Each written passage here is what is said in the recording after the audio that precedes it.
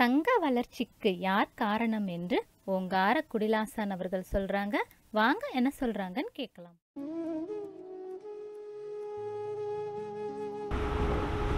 ஓம் அகத்தீசாய நம. ஓம் அகத்தீசாய நம.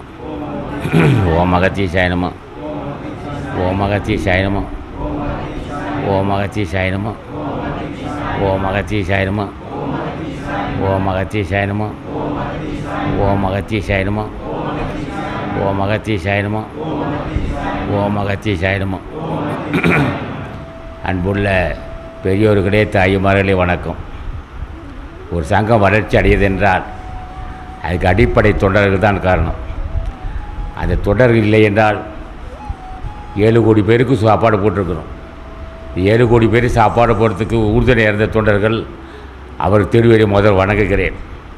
அடுத்து இந்த சங்கத்துக்கு யார் யார் பொருளுதவி செய்கிறார்களோ மனமுகுந்து மொத அவர் திருவடியை வணங்குகிறேன்.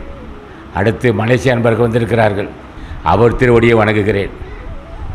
மற்ற இது தமிழகத்தில் உள்ள எல்லா ஊரிலிருந்து வந்திருக்கிறார்கள் விழாவை நோக்கி. அவர்களும் நீடு வாழவென்று அவர் திருவடியை வணங்க வணங்குகிறேன்.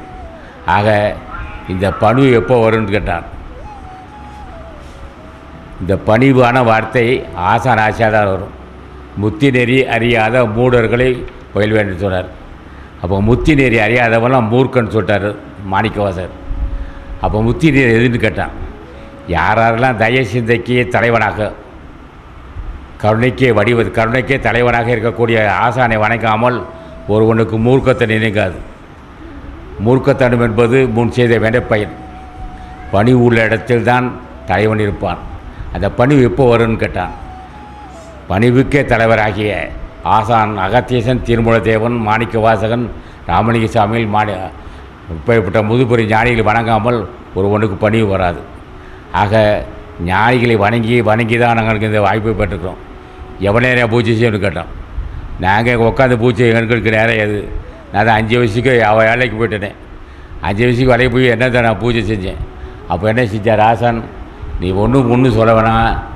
என் நாமத்தை சொன்னால் போதுன்னாரு அப்போ ஆசான் நாம சொல்லிட்டு வந்தேன் என்னைக்கு ஆசான்னு கேட்டேன் ஆசான்னு கேட்டும்போது ஆசான் அகத்தியசா நான் நான் பாவிதான்ப்பா ஆனால் எனக்கு உண்மை பொருள் தெரியும்னு கேட்டேன். அவர் சொன்னார் என் திருவடியே உனக்கு உண்மைனார் என் நாமத்தை சொன்னார் உனக்கு சகலம் வச்சுக்கிறார் நான் சொல்லலை.